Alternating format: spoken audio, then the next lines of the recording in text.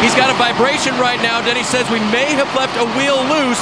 Boys, get ready on pit road. I may have to come down. Denny Hamlin couldn't stand it anymore. He's got to come down pit road now and get those four tires changed. Not sure exactly which one might be loose, which one would be causing the vibration, but they'll change all four at this point just to be sure. Andy, you've always been a fan of that move versus just trying to predict which side and only changing two. Well, if you change all four, you got a 100% chance of getting the one that's loose. yeah, playing the odds That's there. right. Thought he had a flat tire. Said it was the right front.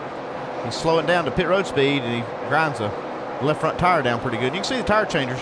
They're under green. Tire changer says, nope, the tire is not flat on the right front.